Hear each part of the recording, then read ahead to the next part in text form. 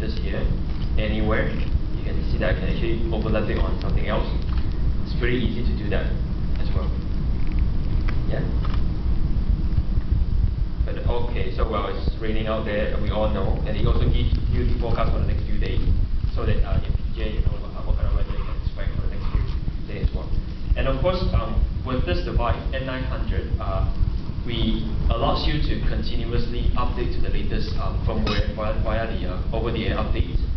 And also, we offer a lot of, um, say, um, other applications for you. For example, you could just go to this update and then or downloads here, and you can see that a lot of applications are actually available on the uh, device itself by category. Okay, here we go.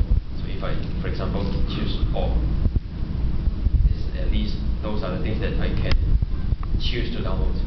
And to, to download and install is just a few clicks, very straightforward. Yeah. And if you think that it's not enough, go to Ovi Store. Well,